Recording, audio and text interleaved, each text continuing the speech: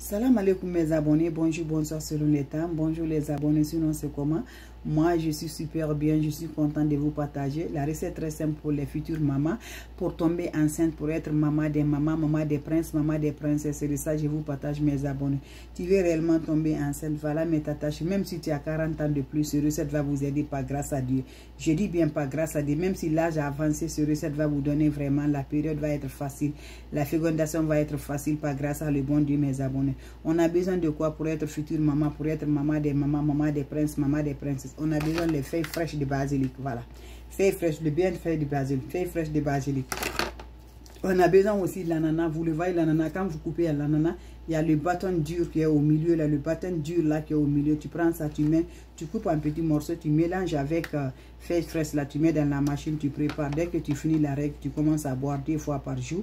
N'oublie pas de provoquer ton mari, n'oublie pas de partager mes abonnés. Ça va toujours du